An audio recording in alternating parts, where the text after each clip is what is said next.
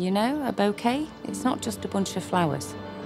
It's about creating a moment, and it's my job to make it special. This is a real sweet one. Dear Mummy, thank you for making me a little brother to play with. I promise to be the bestest big sister in the world.